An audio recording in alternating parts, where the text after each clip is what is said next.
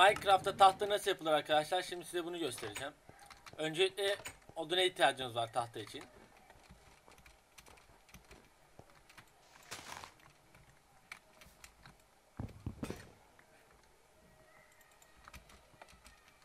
Topladığımız odunu üretim kısmına koyduğun zaman tahta elde ediyoruz. Tahta yapımı bu kadar basit arkadaşlar. Bir dahaki videoda görüşmek